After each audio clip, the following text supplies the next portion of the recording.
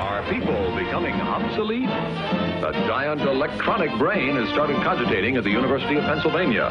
It's made a vacuum tube like your radio, and it can add up a column of figures a yard long in a second. It's the world's first electronic computer. Right now, it's solving mathematical problems for the U.S. Army, but who knows? Someday a machine like this may check up on your income tax.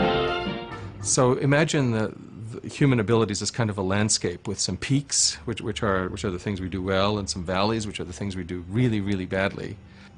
There are things that we do extremely well, which are things that were important in our survival for, for most of our evolutionary history, things like moving around and socially interacting and, and perceiving the world.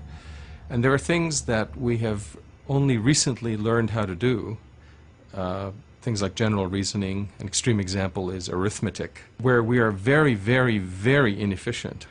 Computers are different. They are universal machines. Uh, with an efficient program, they can do almost any one of these tasks equally well in, in some abstract uh, informational sense.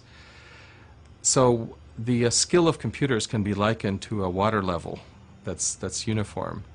The water level is rising. And it's rising at a rate that is about 10 million times faster than the rate at which we evolved those abilities. That and a, and a number of other calculations lead me to believe that uh, the highest peaks will be covered by this rising flood in less than 50 years. But once the level of computer competence has risen beyond uh, the, best the best human engineers, then there won't be any human engineers. There will be uh, robotic or computer engineers.